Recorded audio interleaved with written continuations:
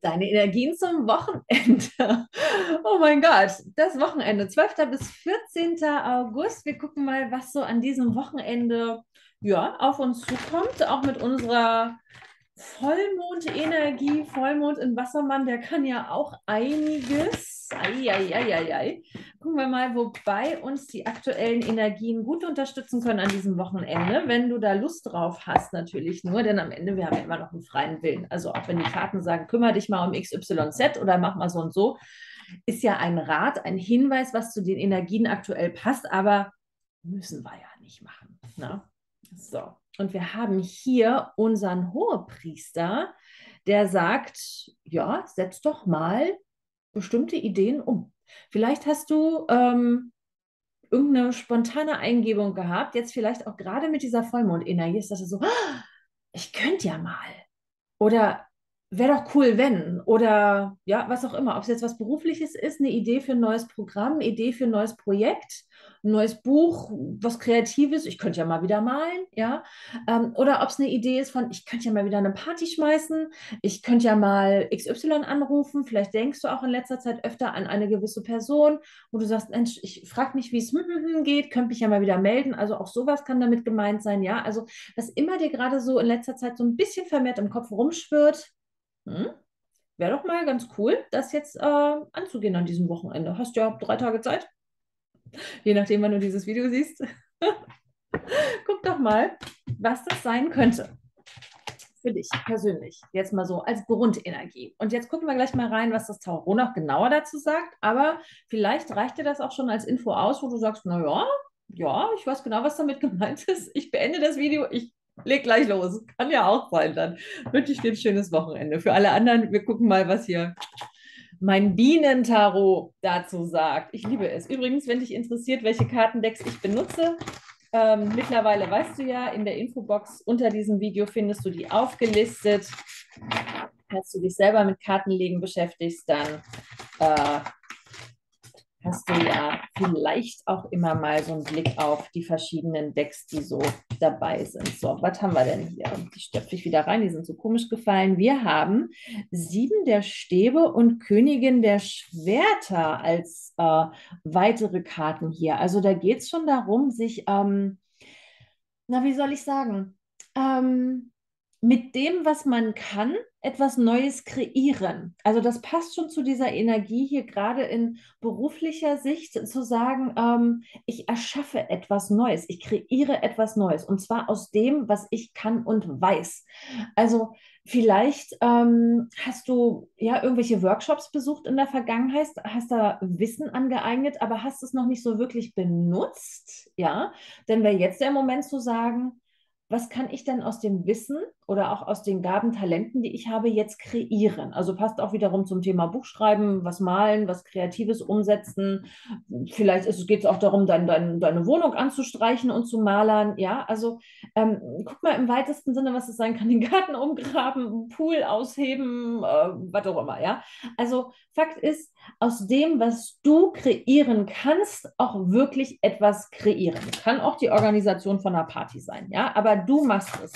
Du machst es selber. Du lässt es nicht machen, also vielleicht mit Unterstützung und Hilfe, ja, aber es geht schon darum, du machst das und äh, weil du es kannst weil du einfach so weit bist, weil du dabei bist, einen Weg eingeschlagen zu haben, der jetzt auch auf Umsetzung wartet. Ja, also buch nicht die nächste Ausbildung oder überleg nicht lange, sondern mach's. Und da haben wir schon wieder die sechs der ähm, Schwerter, die hier kommt und sagt, weil es ist an der Zeit, sich diesen Erfolg auch zu holen, aufzubrechen und aus Zeiten, in denen du dich vielleicht noch unsicher gefühlt hast, so jetzt bin ich wieder beim Thema, man lernt was Neues und man weiß noch nicht so genau, doch, du weißt genug. Du kannst jetzt anfangen, du kannst das jetzt nutzen, diese Wissen, diese, diese Erfahrung, die vielleicht auch ein Aha-Moment, den du hattest, der eingeschlagen ist wie so ein Blitz, wo du sagst so, wow, krass.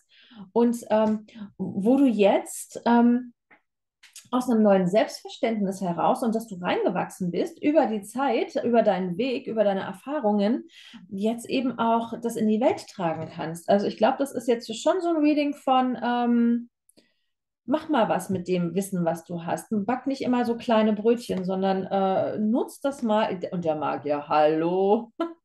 nutz das Wissen, das du hast, um damit Neues zu kreieren. Das ist wirklich die Botschaft des Tages. Nutze das Wissen, das du hast, um was Neues zu kreieren. Das Wissen, Schrägstrich, die Talente, die Gaben. Ja, ob das jetzt was ähm, ja, Kreatives ist, wie ich jetzt gesagt habe, ja, malen, Wohnung neu dekorieren, äh, ja, was auch immer. Oder eben, ich denke mal, für den Hauptteil, die hier zuschauen, schon eher in Richtung Business äh, zu sagen, bitte nutzt doch dein Wissen, nutzt es doch einfach besser, gezielter. Vielleicht geht es auch darum, sich irgend, wenn du jetzt irgendwo angestellt bist, zu schauen, krieg, kann ich mir eine Beförderung holen oder kann ich in einer anderen Firma mein Wissen anders ähm, nutzen, anders aneignen. Vielleicht brauche ich eine andere Stelle, vielleicht kann ich innerhalb meiner Firma irgendwas wechseln und tauschen. Ja, wenn du selbstständig bist, äh, was schiebst du vor dir her, was du noch nicht wirklich implementierst hast in deine, in dein Daily Business, ja. Ähm, und auch hier mal wieder Folge der Freude, ja. Ähm, guck, was dir in die Wiege gelegt wurde und nutze das. Also, äh, oder was du dir eben auch selber in die Wiege gelegt hast. Dieses, dieses Natürliche von, das liegt mir doch so gut. Ja, dann mach das doch. Dann versauer doch nicht mit irgendwelchen Sachen, die du abarbeiten musst, wo du vielleicht für andere aktiv bist. Ähm, oder wo du dich für irgendwas durchquälst, weil du es gut kannst, aber weil es gar nicht so deiner Freude entspricht. Guck doch, was dir mehr Spaß macht und mach das Dinge, die dir wirklich, ja, wie die Biene hier so von Blume zu Blume äh, wandelt und sagt, oh, ein Blümchen, oh, mal gucken.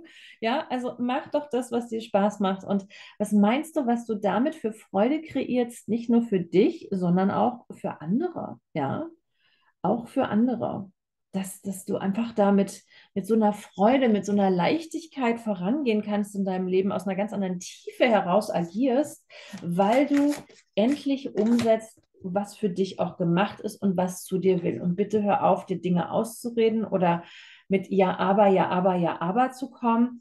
Die Zeit der Ausreden ist vorbei. Die brauchst du nicht mehr länger. Du brauchst dich dem nicht mehr länger bedienen, weil, also kannst du, musste aber nicht, ja. Wer jetzt mal an der Zeit alles, was an Ausreden kommt, um nicht voranzugehen, loszulassen und wirklich umzusetzen, was aus dir rausfließen möchte, was aus deinem Potenzial heraus will einfach. Und jetzt gucke ich hier, weil ich die Karten gerade so komisch halte, hier in der Kamera, hier haben wir noch das Ass der, der, der ähm, ähm, Stäbe hier unten drunter am Kartendeck. Also ich sag mal, wie viele Hinweise brauchst du denn noch, dass jetzt an der Zeit ist, wirklich Ideen umzusetzen? Du bist soweit, du bist da reingewachsen. Also jetzt bitte folge doch dem inneren Ruf, folge dem Potenzial und kreiere, was das Zeug hält. So, was haben wir hier als abschließende Botschaft zu diesem Reading, bevor wir zu deinen eigenen Fragen kommen? Da haben wir ähm, die Zinie, die sagt, manchmal ist der Schlüssel das, was nicht da ist. Ja, weniger Ausreden. Ne? Guck doch mal, was du bisher noch übersehen hast auf deinem Weg. Was hast du bisher übersehen auf deinem Weg? Dann haben wir hier mal wieder die Gardenie. Äh, wach auf, roll die Wolken zur Seite, ja, komm in deine, deine ähm, Awareness, wie heißt das, dein Bewusstsein und schau dir an, was das Leben bereithält, beziehungsweise was durch dich in die Welt getragen werden möchte. Dann haben wir hier die weiße Nelke, die sagt, Leidenschaft, Hingabe, sei ehrlich und rein in Gedanken und Taten. Ja, hör auf, dir selber im Weg zu stehen. Dann haben wir hier den Flachs, der sagt, ähm, mach mal ein bisschen langsamer, ja, äh, ja, muss ja nicht mit dem Kopf durch die Wand, also auch hier finde ich ganz wichtig dieser Hinweis von, alles braucht seine Zeit. Ja, wenn, wenn man soweit ist zu erblühen, dann erblüht man. Aber jetzt ist an der Zeit zu erblühen. Das heißt nicht, dass du jetzt alles gleich über den Zaun brechen musst. Aber ja, mach langsam, aber mach beständig. Und wir haben Dankbarkeit mit der mit dem Hasenglöckchen, die Dankbarkeit, die sagt, ähm, sei dankbar für das, was gut ist, was jetzt Gutes in deinem Leben ist. Und aus dieser Dankbarkeit heraus kann man ja auch nochmal ganz neu kreieren. Was haben wir hier noch? Orangenblüte, Enthusiasmus. Das Beste, das Beste kann hier sein. Glaub doch einfach mal dran. Ja, ja, ja, ja. So, dann kommen wir zu deiner eigenen Frage. Von daher denk doch mal an ein Thema, an eine Frage, wo du gerne irgendwie einen Hinweis oder ein Zeichen brauchst und sagst, Mensch, was wollen die Karten mir dann raten zu diesem Thema, zu dieser Frage, die ich habe, zu das, was mich gerade so, zu dem, zu das, zu dem, was mich gerade so umtreibt. Ich auch keinem erzählen, dass ich ursprünglich mal Literatur studiert habe. zu dem, zu das, so. So, also, wir haben hier zum einen, du bist, bist du Schöpfer oder Opfer deines Lebens, übernimm die Verantwortung über die Situation, in der du gerade stehst, über die Position, wo du gerade bist. Und was willst du jetzt draus machen? Schöpfern? Schö Schöpfern. Schöpfen? oder im Opfertum versinken. Also passt ja auch wiederum hier zum Hauptreading ganz gut. Jetzt mach doch mal bitte, wie lange willst du denn noch warten? Und dann haben wir hier smooth and easy. Es läuft doch alles. Also mach doch einfach langsam beständig weiter. Passt ja auch jetzt so der, wo hatten wir es? Welche war es? der Flachs, der sagt, ne, du musst es ja nicht, du musst ja nicht mega schnell, du musst ja nicht einen Sprint laufen. Mach einen Marathon draus jeden Tag ein bisschen ist besser als nichts.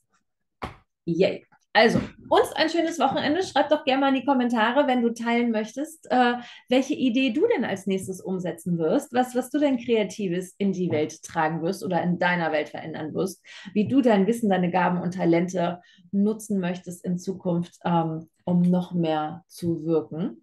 Und da kannst du dir an diesem Wochenende jetzt schön Gedanken drum machen. Bin sehr gespannt. Lass mir ein Gefällt mir da, wenn das Video dich abholt und dann uns allen ein zauberhaftes Wochenende, deine Denise.